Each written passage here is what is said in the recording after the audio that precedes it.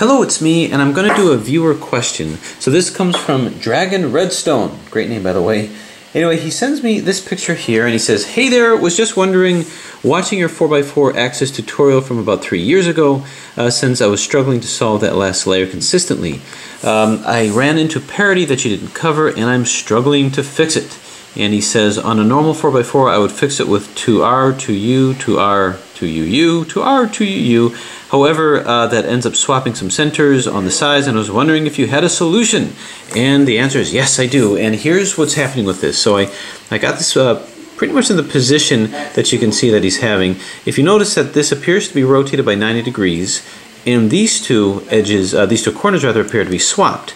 So what happened with this and how do you fix it? So it obviously appears to be some kind of a parity problem, a 4x4 parity problem, as you reduced it to a 3x3 and you ended up with this. Well, the best way to to approach that or to demonstrate it is, is a similar situation on a 4x4. This is pretty much that same situation. If you notice, this corner is in and uh, this corner is in. So these two corners are in. These two are flip-flopped, just like these two are flip-flopped. Uh, now, although you can't see it, this center is actually similarly rotated to this. Now, this is rotated 90 degrees, but it's not 90 degrees off because you don't have any specificity with the center rotation. Here you do. So if this were just a 4x4 and not a super cube, you wouldn't notice it. You just see these two, um, these two were uh, flip-flop just like this. So to fix it on a regular 4x4, well, what you do is you'd have to get the corners in. So this would uh, require uh, an adjacent corner swap, and that would be uh, yeah, that would be 2RU, 2RUI, 2R, UID, 2RUI, 2RU, 2R, move this back. With these being swapped, you're free to go ahead and put these in. Um, uh, now the problem is when you corner swap, you also flip these two. So this is bringing out what the actual parity is. It's not a corner parity. There's actually no such thing as a corner parity because you never reduce the corners. This is an edge parity problem because you reduce the edges.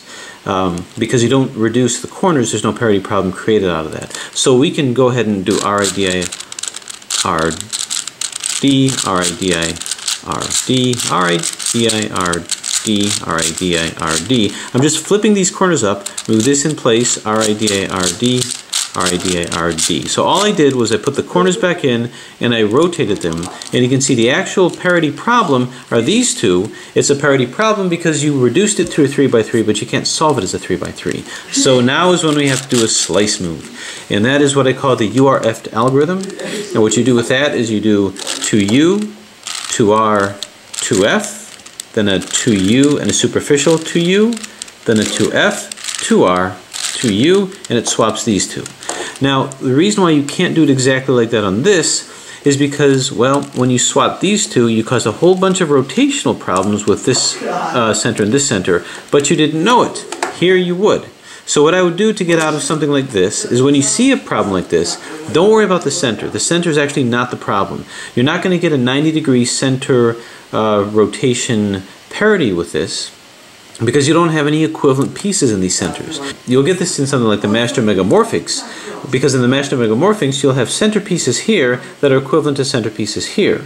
And when you do that, by swapping them, you can get a 90 degree rotation. Here, when you see this, you think, well, this is not that kind of issue. There's no false equivalency of centers because there's no equivalent centers. So therefore, this is not the problem. And this is not the problem. The problem are your edges.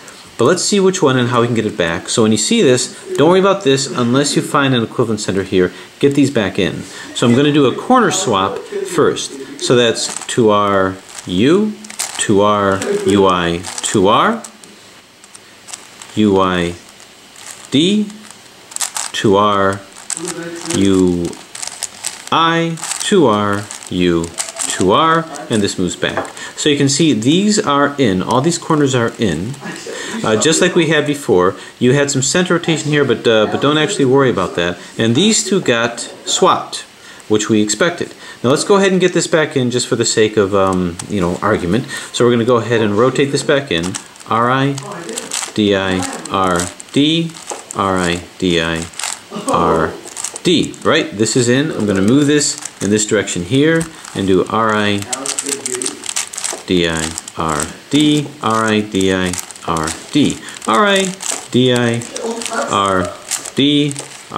D D D. Okay, so now you can see what the situation is.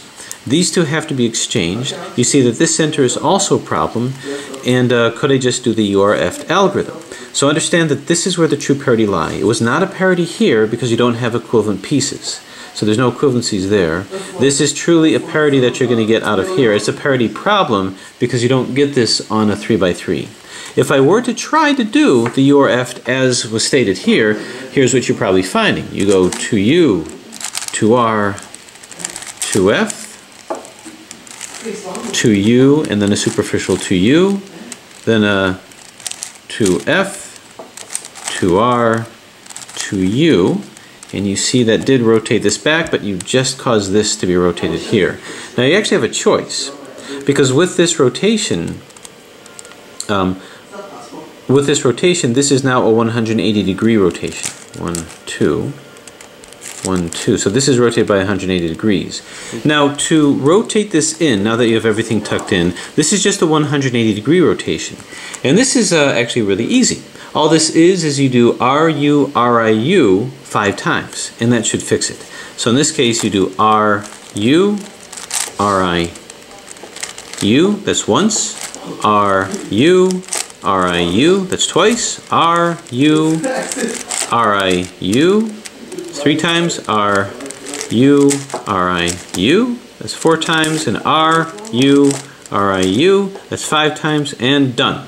So in your particular configuration, that's how you can fix that. So the first thing that you did is you got back everything on that side, not worrying about the center. You did your URF algorithm, and you ended up with one rotation out, and you just did that algorithm, and that should fix that.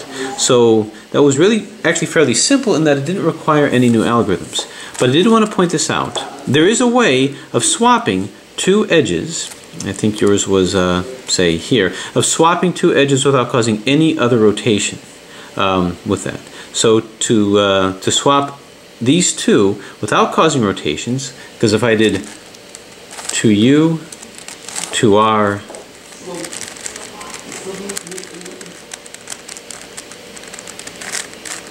okay, 2u, 2r, 2f, 2u, 2u,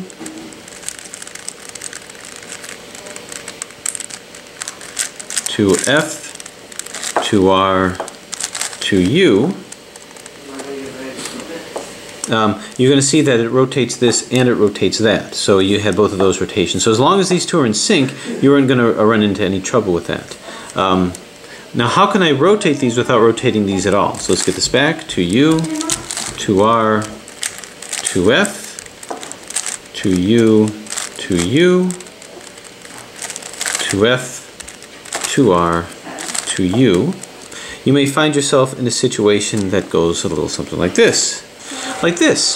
So in this situation, the situation that you had, this was rotated along with this. So by, by fixing it, it rotated this in conjunction with these two. It just rotated this, which you can easily get it um, rotated 180 degrees. But you may find yourself in a situation where these two are opposite and this is not rotated. In your situation, they were opposite and this was rotated, so you can do your URF algorithm, it'll rotate this along with these guys, but it'll also rotate this and easily get it back. But if you find that these are the only thing that's out, because you don't want these to rotate, the algorithm is a variation of the URF, and unfortunately it's the most uh, difficult of all the ones to remember of your standard algorithms. But it's based on URF. You're going to start off with a simple slice through the middle.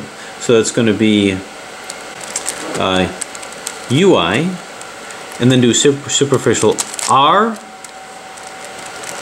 and then an Fi, so you still get your URF components there, Fi, and then just a superficial U, Ri, F. Then you do a middle move of doing a, a middle slice with a U, and then D, and then finish it with Fi, R, UI, and F, Ri, and finish with a middle slice di. So when you do that, it'll flip these two without rotating these. And that served me very well with supercubes. So that's the answer of how to get out of the specific situation that you had. But if you have another situation where these centers are not coordinated with these edges and the edges are the only things that have to go in, you can use that algorithm. So that should guide you through any other issues that you have with this type of a puzzle. So, in, so hope that helped and thanks for watching.